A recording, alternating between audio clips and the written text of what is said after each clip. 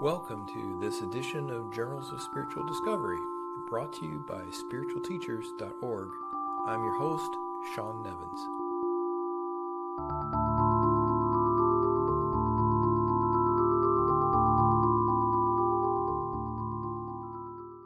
Hello, and welcome to the Journals of Spiritual Discovery podcast.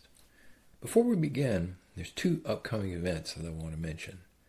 This Wednesday at 8 p.m. Eastern Time, I'm leading an online session for the Pittsburgh Self Inquiry Group. To participate in that free event, go to tatfoundation.org, click on the events page, then scroll down to the local groups section where you'll find contact info for the Pittsburgh group. And while you're on that events page, you can also sign up for the next Tat Talks event, which is coming up this Saturday July 15th at noon Eastern Time. The featured guest is going to be me. The format's Q&A, so there will be lots of time to ask your burning questions. I hope to see you there. Now, on to the podcast. Ramana Maharshi was one of the great sages of the 20th century. For this episode, I want to explore what Ramana had to say about self-inquiry and the question, who am I? I'm going to read two extracts from the written words of Ramana Maharshi. Both of these appear in Arthur Osborne's book, The Collected Works of Ramana Maharshi. Though Osborne uses some Hindu terminology, I've chosen primarily to use his English translations of these terms during this reading. And one thing to keep in mind is that I will be using the term self a lot, but when Ramana refers to self, it's always the capital S self, meaning the absolute. If he's talking about the personal self or the day to day self, he always uses the term in this particular reading, individual self. So the first one that I will read is an extract from a piece that Ramana wrote called Who Am I? Every living being longs always to be happy untainted by sorrow, and everyone has the greatest love for himself, which is solely due to the fact that happiness is his real nature. Hence, in order to realize that inherent and untainted happiness, which indeed he daily experiences when the mind is subdued in deep sleep, it is essential that he should know himself. For obtaining such knowledge, the inquiry, Who am I? In quest of the self is the best means.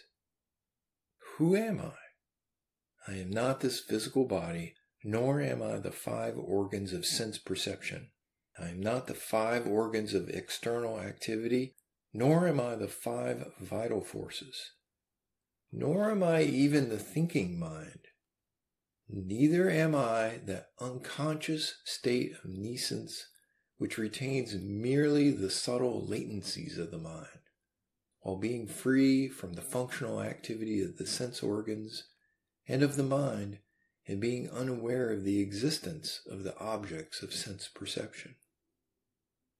Therefore, summarily rejecting all the above mentioned physical adjuncts and their functions, saying, I am not this, no, nor am I this, nor this. That which then remains separate and alone by itself, that pure awareness is what I am. This awareness is by its very nature existence, consciousness, bliss. If the mind, which is the instrument of knowledge and is the basis of all activity, subsides, the perception of the world as an objective reality ceases Unless the illusory perception of the serpent and the rope ceases, the rope on which the illusion is formed is not perceived as such. Similarly, unless the illusory nature of the perception of the world as an objective reality ceases, the vision of the true nature of the self, on which the illusion is formed, is not obtained. The mind is a unique power in the Atman whereby thoughts occur to one. On scrutiny as to what remains after eliminating all thoughts, will be found that there is no such thing as mind apart from thought. So then, thoughts themselves constitute the mind. Nor is there any such thing as the physical world apart from and independent of thought. In deep sleep there are no thoughts, nor is there a world. In the wakeful and dream state, thoughts are present, and there is also the world. Just as the spider draws out the thread of the cobweb from within itself and withdraws it again into itself, in the same way the mind projects the world out of itself and absorbs it back into itself. The world is perceived as an apparent objective reality when the mind is externalized thereby forsaking its identity with the self. When the world is thus perceived, the true nature of the self is not revealed. Conversely, when the self is realized, the world ceases to appear as an objective reality. By a steady and continuous investigation into the nature of the mind, the mind is transformed into that to which the I refers, and that is in fact the self. Mind has necessarily to depend for its existence on something gross. It never subsists by itself. It is this mind that is otherwise called the subtle body, ego or soul. That which arises in the physical body as I is the mind. If one inquires whence the I thought in the body arises, in the first instance, it will be found that it is from the heart. That is the source and stay of the mind. Or again, even if one merely continuously repeats to oneself inwardly, I, I, with the entire mind fixed thereon, that also leads one to the same source. The first and foremost of all the thoughts that arise in the mind is the primal I thought. It is only after the rise or origin of the I thought that innumerable other thoughts arise. In other words, only after the first personal pronoun I has arisen do the second and third personal pronouns, you, he, etc., occur to the mind, and they cannot subsist without the former. Since every other thought can occur only after the rise of the I thought, and since the mind is nothing but a bundle of thoughts, it is only through the inquiry, Who am I? that the mind subsides. Moreover, the integral I thought implicit in such inquiry, having destroyed all other thoughts, gets itself finally destroyed or consumed, just as the stick used for stirring the burning funeral pyre gets consumed. Even when extraneous thoughts sprout up during such inquiry, do not seek to complete the rising thought, but instead deeply inquire within to whom has this thought occurred? No matter how many thoughts thus occur to you, if you would, with acute vigilance, inquire immediately, as and when each individual thought arises, to whom it has occurred, you would find it is to me. If then you inquire, Who am I? the mind gets introverted and the rising thought also subsides. In this manner, as you persevere more and more in the practice of self inquiry, the mind acquires increasing strength and power to abide in its source. It is only when the subtle mind is externalized through the activity of the intellect and the sense organs that gross name and form constituting the world appear. When, on the other hand, the mind stays firmly in the heart, they recede and disappear. Restraint of the outgoing mind and its absorption in the heart is known as introversion. The release of the mind and its emergence from the heart is known as objectiveness.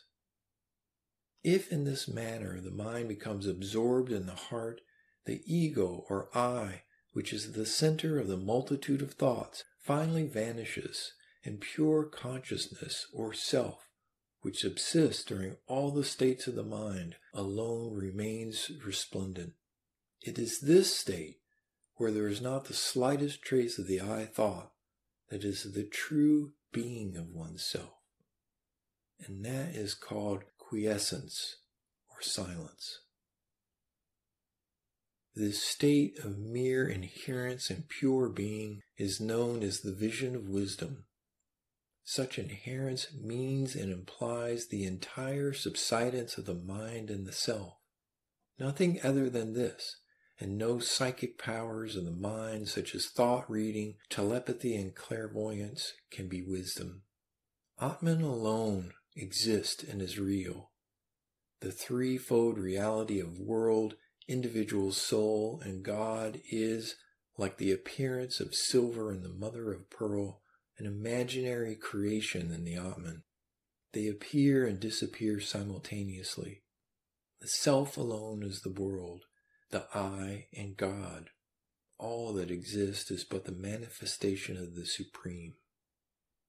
For the subsidence of mind, and there is no other means more effective and adequate than self inquiry, even though by other means the mind subsides, that is only apparently so, it will rise again.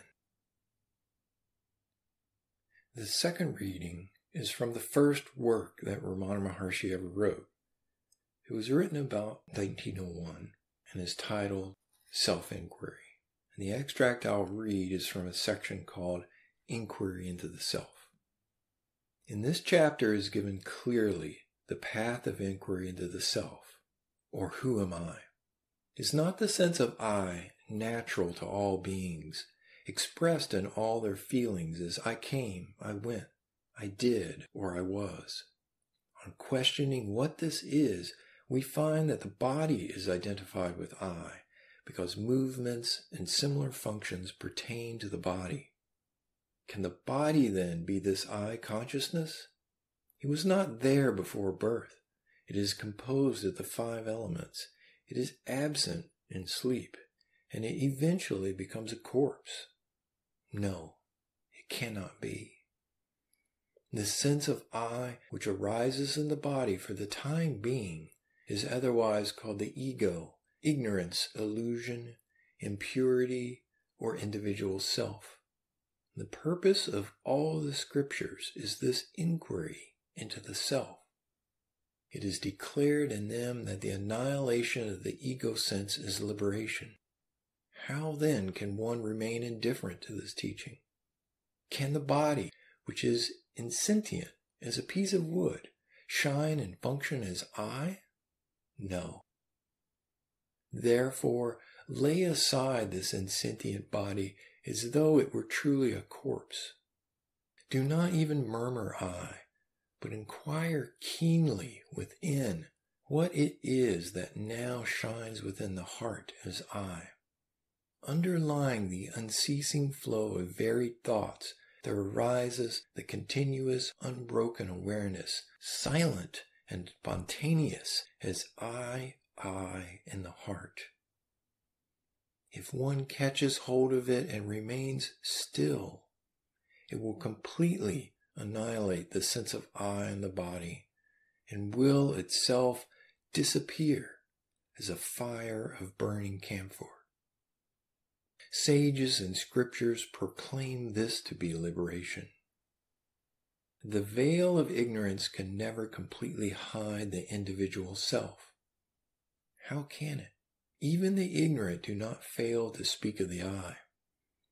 It only hides the reality I am the self, or I am pure consciousness, and confounds the I with the body. The self is self effulgent. One need give it no mental picture anyway. The thought that imagines it is itself bondage, because the self is the effulgence transcending darkness and light. One should not think of it with the mind. Such imagination will end in bondage, whereas the self spontaneously shines at the absolute. This inquiry into the self in devotional meditation evolves into the state of absorption of the mind into the self and leads to liberation and unqualified bliss. The great sages have declared that only by the help of this devotional inquiry into the self can liberation be attained, because the ego in the form of the I thought is the root of the tree of illusion. Its destruction fells illusion, even as a tree is felled by the cutting of its roots. This easy method of annihilating the ego is alone worthy to be called devotion, knowledge, union, or meditation. In the I am the body consciousness, the three bodies composed of the five sheaths are contained. If that mode of consciousness is removed, all else drops off of its own accord. All other bodies depend on it. There is no need to eliminate them separately because the scriptures declare that thought alone is bondage. It is their final injunction that the best method is to surrender the mind in the form of the I thought to Him, the Self, and keeping quite still, not forget Him.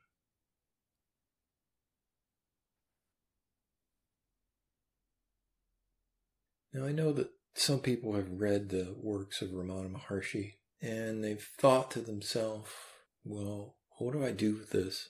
Or they find that uh, meditating on who am I is a dry, a rote sort of practice.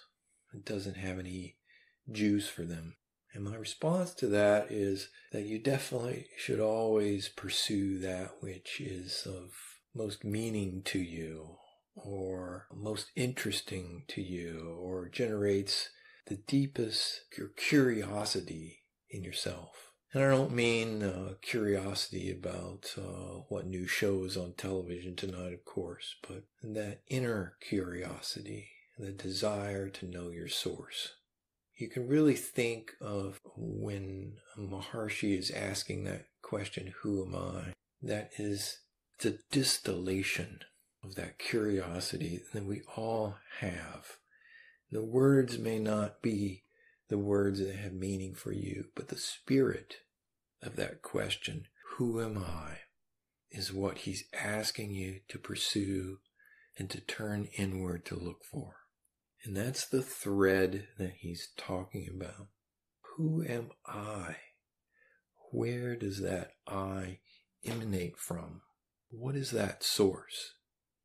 There's value in pursuing that inquiry, that interior inquiry, not just saying to yourself mentally, who am I, but looking, keenly looking, observing, watching inside yourself for that point or that place from which the I thought is emerging and holding the mind and the attention on that.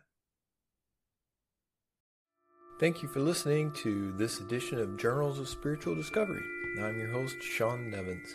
For more information about today's guest, as well as more interviews, books, and other resources, go to spiritualteachers.org.